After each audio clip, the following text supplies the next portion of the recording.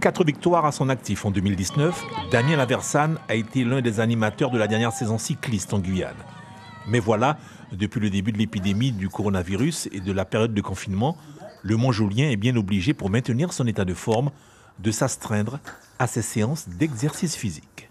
Qu'on soit en période de confinement ou pas, il faut qu'on fasse ce, type de préparation euh, qui va nous aider sur le vélo, que ce soit euh, sur les courses en peloton ou en contre-la-montre, euh, pour, pouvoir être bien gainé être, et, pouvoir retranscrire la puissance sur, le, sur les jambes.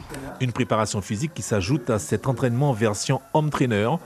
Damien Laversane s'inflige en effet 5 séances de 2 heures par semaine, même si... Rien ne remplace la route, c'est évident. Mais on va dire qu'on arrive à développer euh, certaines capacités sur le home trainer un peu plus euh, de manière un peu plus performante que sur la route où il y a des aléas de, dénivelé, des aléas climatiques également. Quant au meilleur jeune du dernier tour cycliste de Guyane, Dylan Will, il a lui aussi fait le choix du home trainer, même s'il reconnaît que son volume d'entraînement est loin d'être celui d'un entraînement sur route. Le gros des kilomètres, on ne pourra pas le faire parce qu'on ne peut pas faire des heures sur home trainer, en plus ça ne sert à rien. Donc euh, c'est vrai que niveau foncier, on va avoir du mal à la reprise, mais ça se récupère très vite et je pense que, que c'est pas très grave. En tout cas, en, termes d'intensité, on peut, on peut faire du gros boulot. À ce jour donc, aucun cycliste ne peut officiellement enfourcher son vélo avant la date butoir du 11 mai. Et puis il y a aussi cette incertitude autour de la reprise ou pas des compétitions cette saison.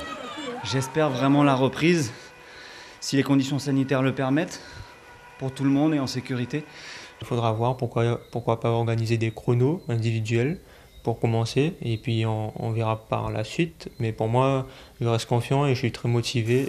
Un premier signe d'espoir pour Dylan Will et Damien Laversane, car hier samedi, la Fédération française de cyclisme a appelé les autorités à autoriser la pratique du vélo après le 11 mai.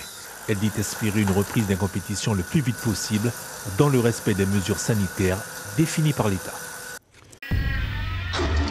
Suivez l'info sur Guyana Première, télé, radio et Internet.